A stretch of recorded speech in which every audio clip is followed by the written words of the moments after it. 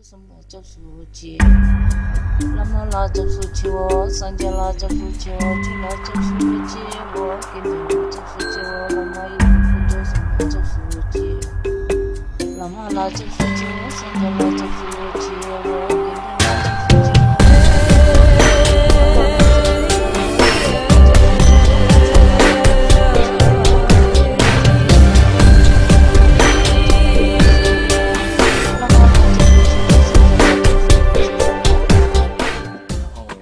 今年如果大家从玉珠峰下来之后，不仅仅是一个登上了远在青海的一个雪山那么简单，更重要的，我觉得最大的意义是大家都凭借自己的意志爬上了自己心中的那想那种梦想，叫做梦想的雪山。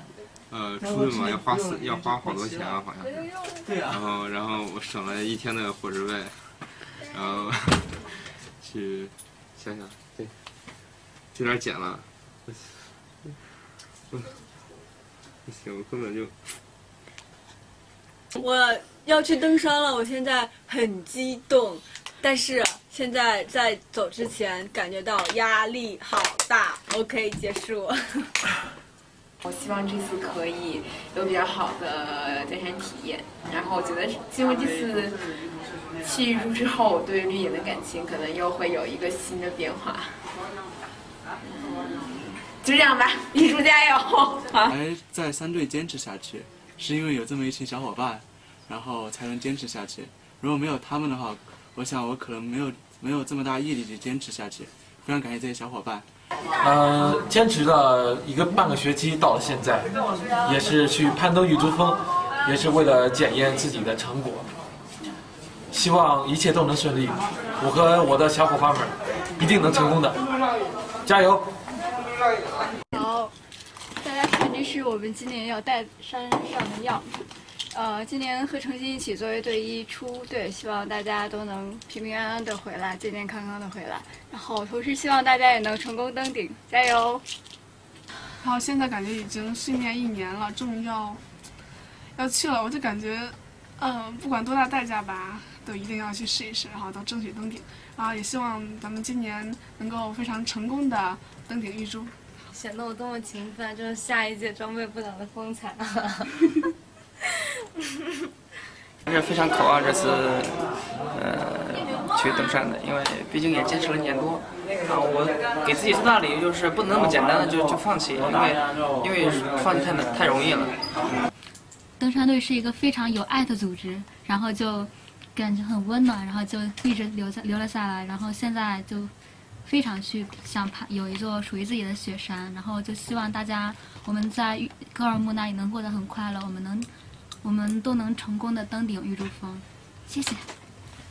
加入山队的这一年过得很开心，然后明天就要出队了，然后祝陈鑫和喜凤在一起，祝静一和刘金在一起，然后祝那个曹娃娃和师姐在一起，然后祝那个杨浩和队嫂感情越来越好，谢谢大家。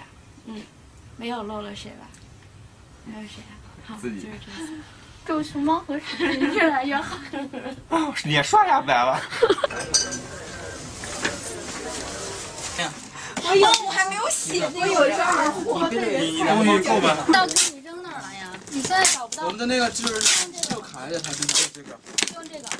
现在嗯，研究生。早知道我应该问我们那些学姐们要一下。证件，你看你们都有证件。过来了是吧？起点的火车就 OK 了。不行，得多多搞两圈，要不就掉了。快点快点快点！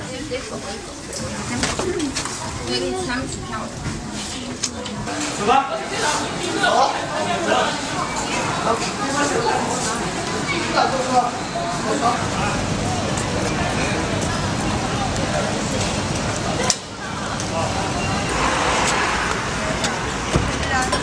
这边这边。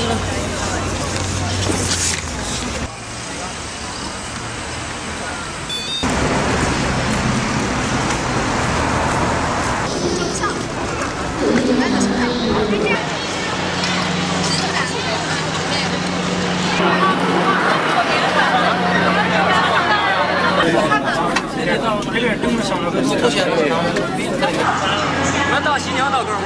格尔木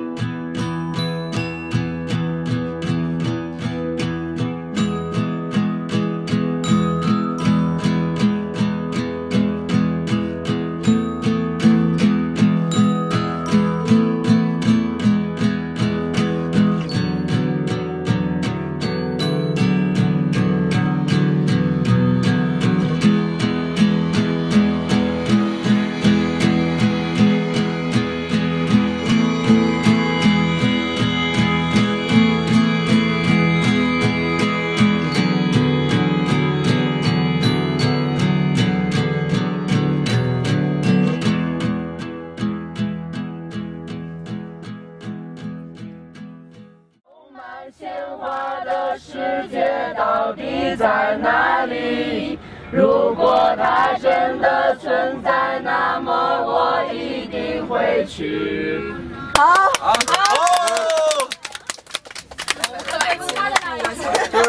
这个非常。行了，三个词，来，龚大来一个。花日欢乐传奇，预备，开始。山峰没有棱角的时候，当河水不再流。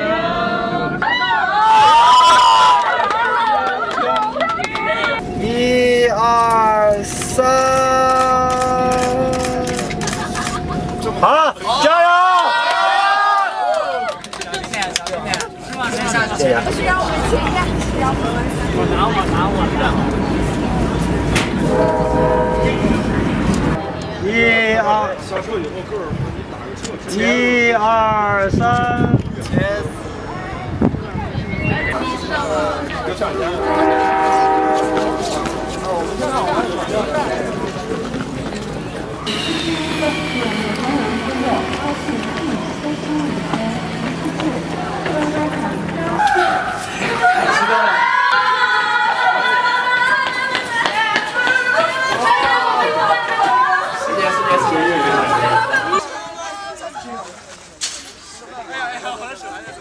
啊，都辛苦了。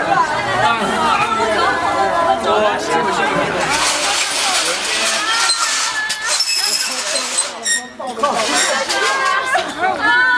苦了，辛苦了，辛苦了。工作人员请注意，贴紧鸟的同志请注意。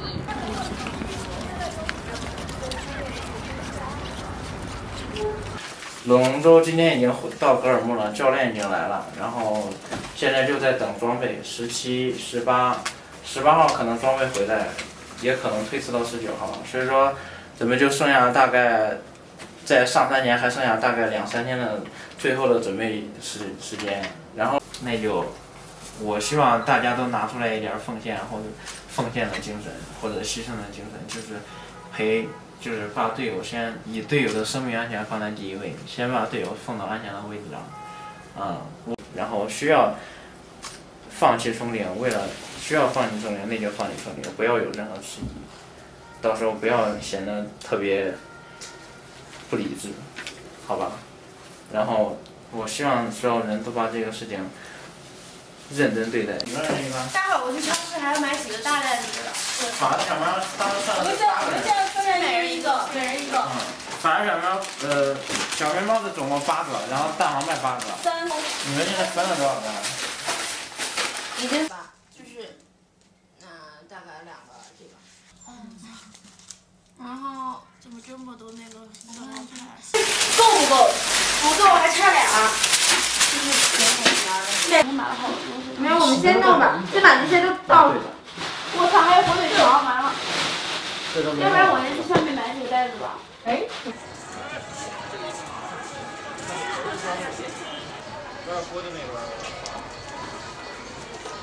一会儿要不老杨去老去我俩这一块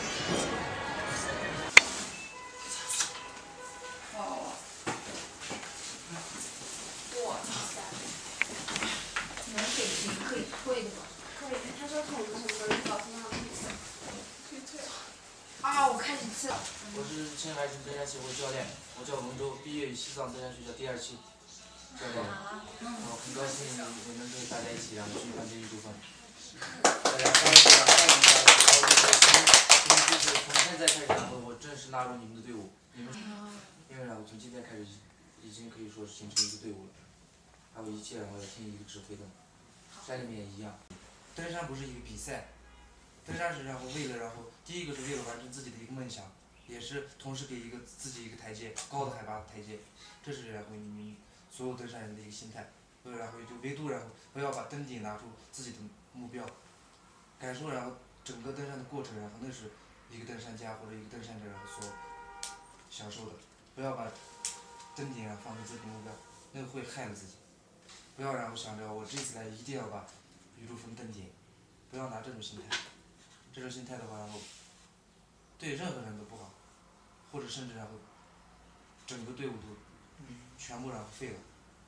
假如说你在 CE 然后本来是然后就平常然后体力不好，你死撑着然后要上去，然后不给然后任何人说然后心里面什么状况，明明你头疼然后别人问你的时候我没事儿，别不要跟别人去比。他没事，然后我也跟着他去比。我不猎过白萝卜吗？没有啊。怎么可能？我在营地时候我没吃到有白萝卜。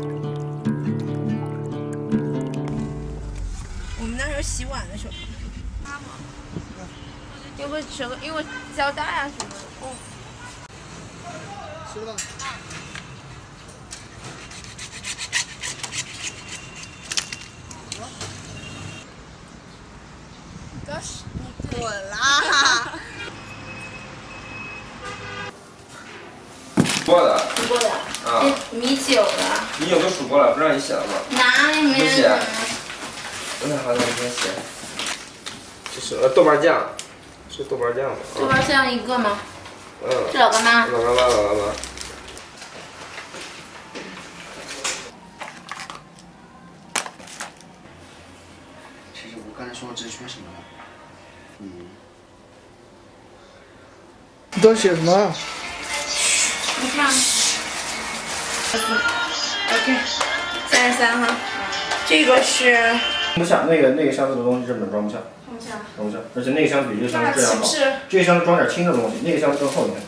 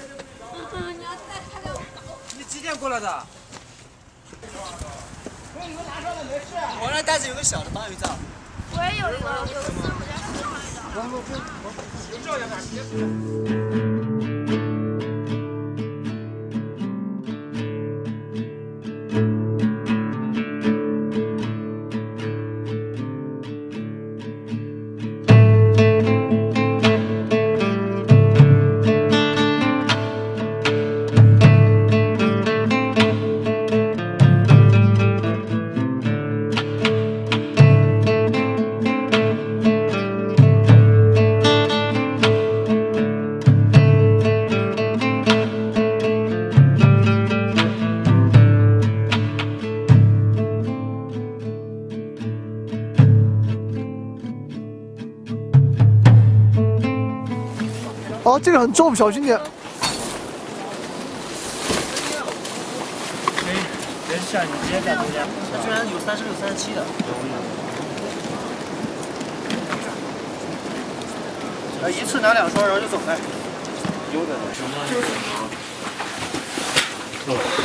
这个床就这样摆起来，这是人家留下来的，我们用可以。可以用是吗？对。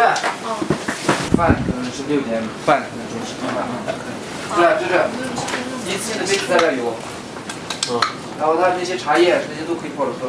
然后你们有那边，然后茶叶那些准备着。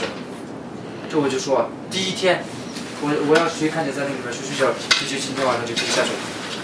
对你那个不严格的话，对于你们的话太那个了，因为你们也特别散漫，散漫这个可以慢慢的 来嘛，因为这样就是回血的，我的也是回血的特别慢。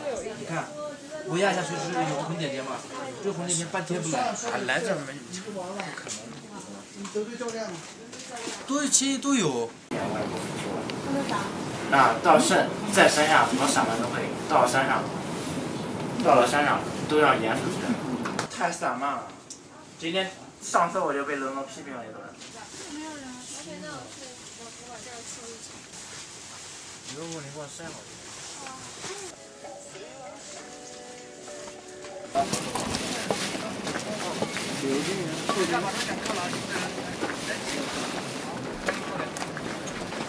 给你我给你比，这儿写行吗？为什么就你们俩是？发骚。走一走好很多。这个得走到人家床上。让他给你刷。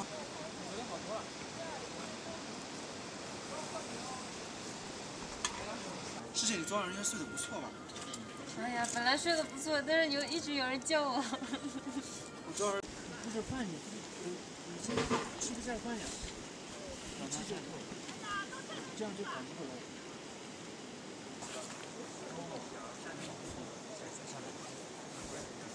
快点快点快点，快点快点快点，我相信。你坐前面吧。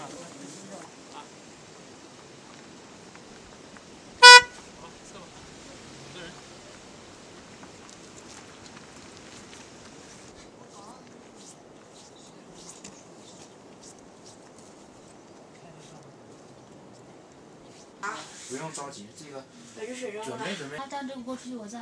哦，不要了，这水不要了。抓好啊！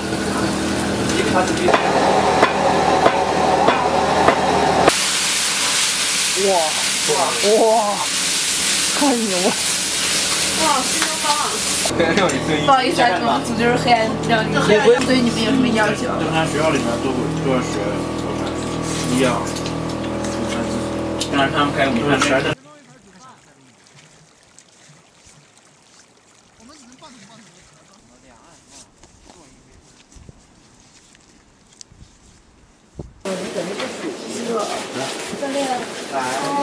行。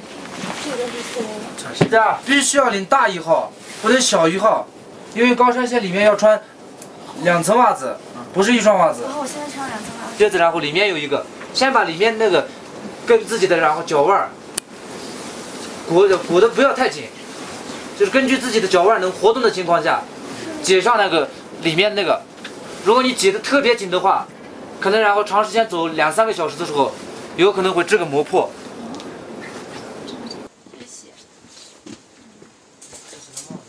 这个怎么分左右？一般系紧的系紧的情况下，然后还可以塞自己的手进去，这是最合适的。不要然后勒的这样太紧，防止然后这个上星期的这个卡池然后小于这个空间的话，它会脱落的。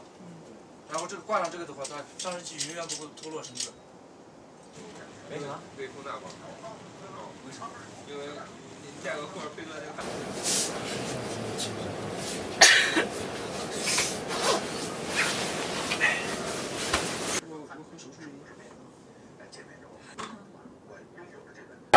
就给你的话，好了。鼠妈是不是拿那个勺子去了就？暂时无法分享我生日的喜悦，大家就哎，尽量分享吧。大家表示一下嘛啊！啊，这个还有和米饭的土豆。哇，外面雪停了耶！水熊猫那边。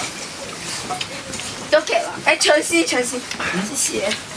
吃什么汤？家里锅菜。啊，这些。么么哒，我去。结束吗？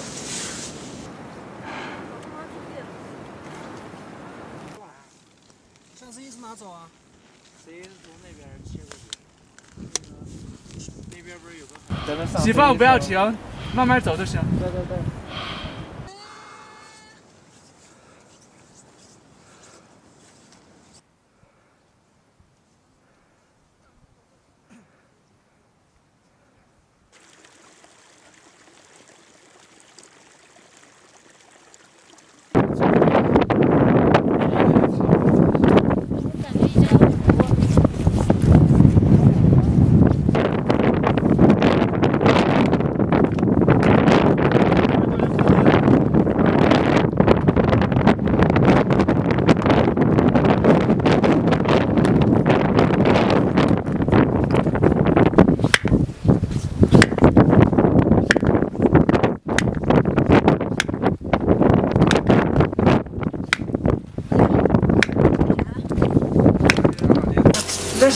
这个你充电，你路上路上就装在兜里。好。水分不够的时候，你不用喝可乐就打开。好好好啊，那我往那个能打。鸡腿，鸡腿是 C 方便面，在 C 区。拿一个方便面八几钱？就这。按这按这个装。难受啊！这就是 C 一和充电。好难受啊，这不够吃啊！我们单卖的天气不好，我们在这待着呀。不然就这样。那一天不够了吧？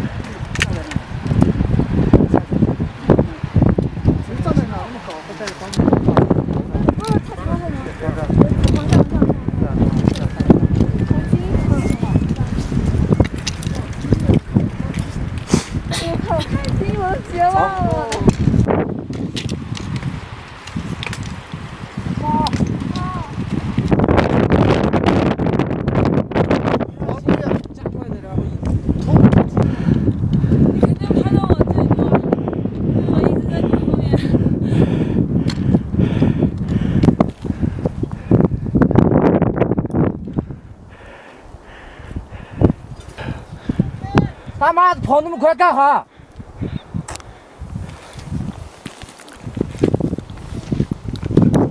渴死了。啊！喝吗？喝。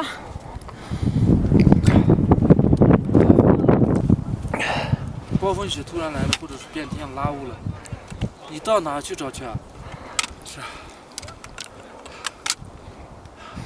抉择简直太快了。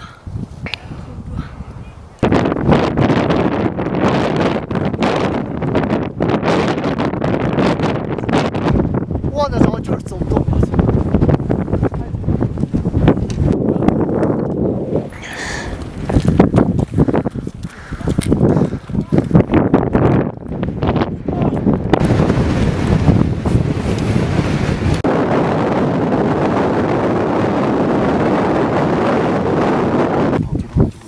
这个是一直上升。剪刀手。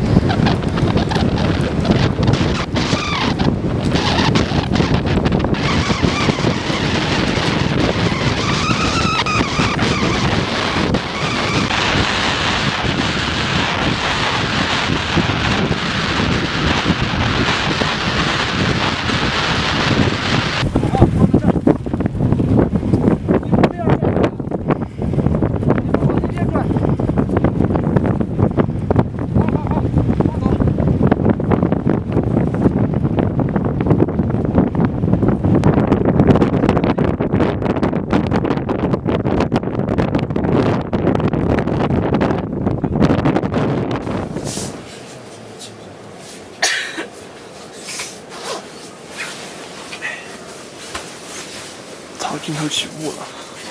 那缺氧特别困，然后我跟小周说，我说我要睡觉，我说小周你隔一段时间喊我一下吧，然后小周好像就是在喊我。后来前几次叫我叫醒我的时候，我还是有印象的，但后来我就没印象了。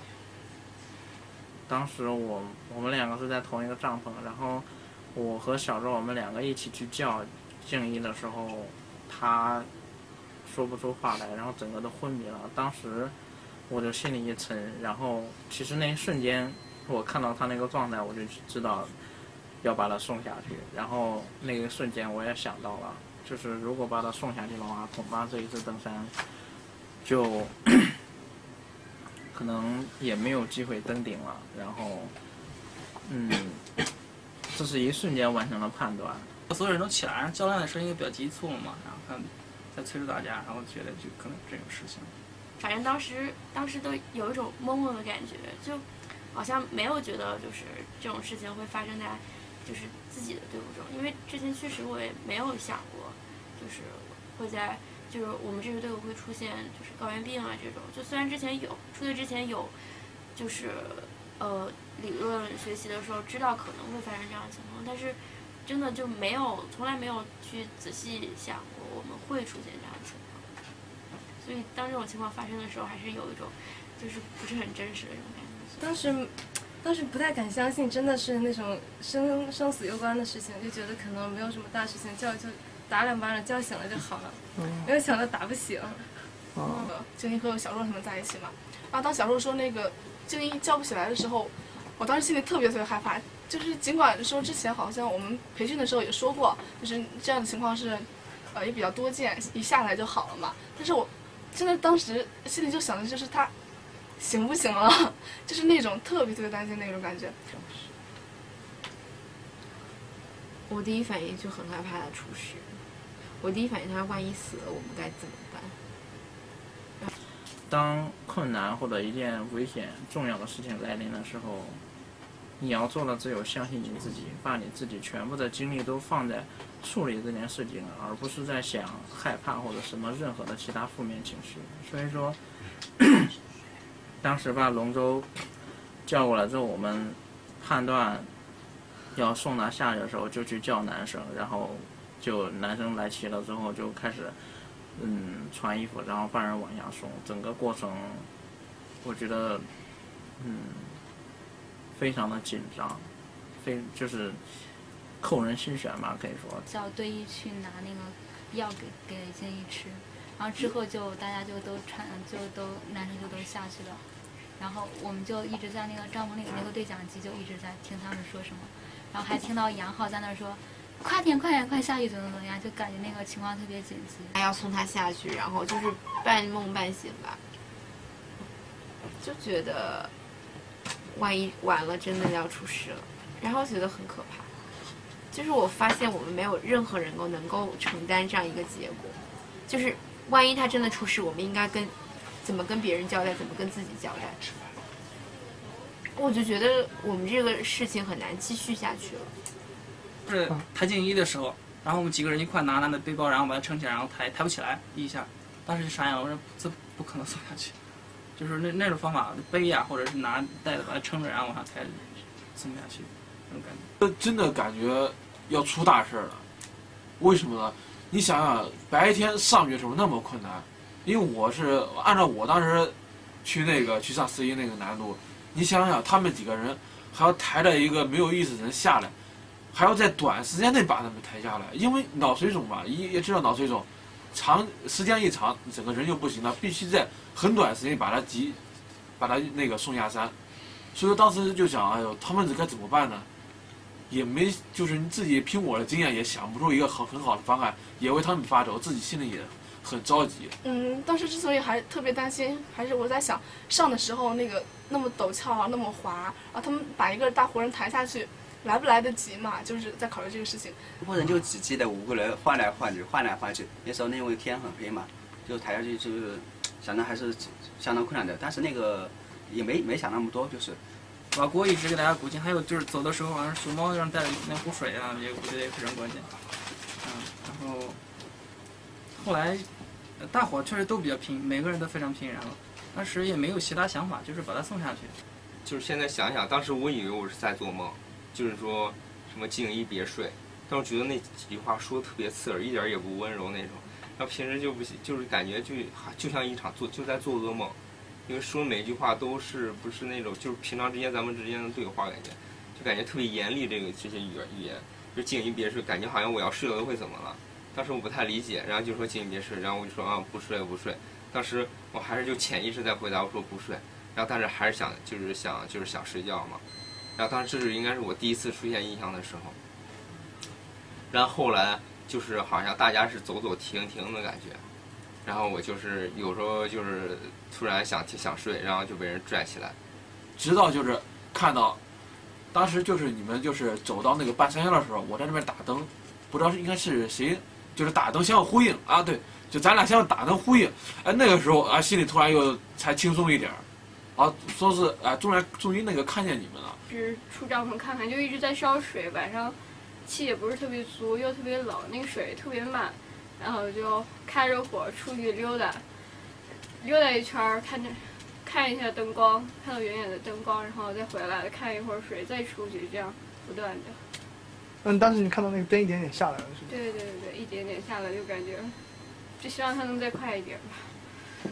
后来静怡能能站起来，他脚能用点力了，然后呢，我们就是心里就是突然就有了底，就感觉起码能够送两三百米的样子，是吧？然后后来跟下面联系上了，然后他们上的又很快，嗯，一一会儿就看到他们在下面打着灯光，然后就觉得更有谱了。嗯，后来走走的时候，第二次印象比较深的地方就是，我当时跟他们说我要自己站起来，我要自己站起来走，然后就是后来就感觉到右边那个人好像是小海，他在架着我，然后。就是往下边往就是往一个方向走，他们说快到了，快到了，我不知道他们说快到什么了。当时我以为，因为潜意识里面第一天，因为刚灌输的那个存的记忆就是要要去冲顶了，该去冲顶了。所以当时我还以为我去在冲顶的路上呢。然后大家说快了，快了。因为你就是登顶不是目的，然后但是作为一个队长来说，作为一个队长来说。给大家一种见识，然后把大家安全的带进山里，然后再安全的带出来，才是队长的第一个职责。然后后来就是过完那个地方之后没多久，他们说到大本营了，然后我就是当时开始就有点疑惑嘛，为什么要来大本营啊？然后后来又见到了行长，但是行长正在站着，行长对我笑笑，我也不知道他他具体跟我说了一些话，我也没听懂什么意思，然后我就坐上那个皮卡车了。对我应该是静一清醒后看到的第一个人，然后静怡就说了一句话，喊了一下喊了一下我，他说汉长，我当时看到他那个，当时就是眼神都是半眯着，睁不无神睁不开，然后就眼光就扫一下你，还说了一下，你能感受到他意思，当时就很模糊。然后就是当时就是把那个车师傅叫起来嘛，赶紧把这个静怡给送下去了。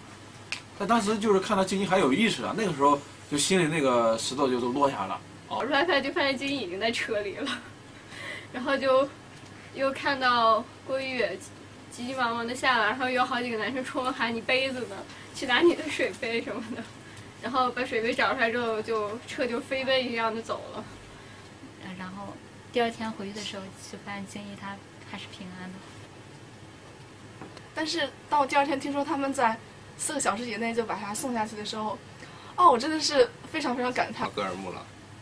然后就是后来的情况，就是知道，嗯，就是这个特别危险的一次事情嘛，差点就是差点就长眠那个预祝风 C 一了，然后再想想呃家里的事情什么之类，还有你们大家一起的什么之类的，然后就是那时候可能才会有时候开始开始愧疚起来了，就有时候那时候就开始就是直到见了你们那一天的时候，你们从大本营回到那个。那个宾馆的时候，那时候我才感到愧疚，感到特别的愧疚。那时候，就那时候我就不好意思下来接你们，然后当时就感觉就因为我一个人导致全队没有登上山嘛，都没冲上顶，当时心里还是挺难过的。但是，当从当时来讲，我个人来讲，虽然说就是这个现实让人有点无奈，但是，嗯。有点遗憾，但是并不后悔。然后，而且更重要的一点是，大家团结一致把静怡送到山下，然后他也没有什么问题，这件事情也没有对他造成什么影响，啊，比如说后遗症什么的。所以说，这个更重要。而且，六个男生送他的时候，每个人都竭尽全力。然后，这个我觉得这一夜的经历并不比冲顶来的选择，甚至更加宝贵。